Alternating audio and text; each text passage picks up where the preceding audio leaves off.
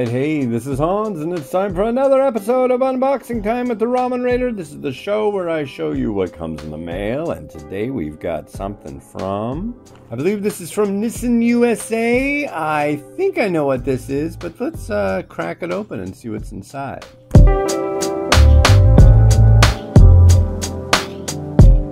Cool. So recently I noticed they were coming out with something new. You may be familiar with Nissin's Firewalk varieties. Well, check that out. They're now in packs. This is the Screamin' Sichuan beef. So this is a different flavor. And this is the torched teriyaki chicken. And they sent two more. So it looks like there are two varieties of these.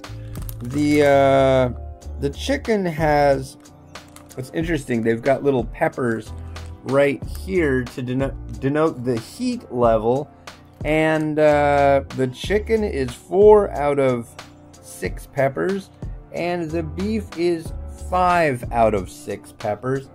Interesting that six is the number that they use. It was kind of like I would have thought it would be five, but uh, yeah, hot and spicy Fire Wok beef and chicken. So keep an eye out for that. And uh, yeah, this has been Hans the Ramen Rater wishing you enjoyment of your noodles each and every day. And uh, have a good one. Bye.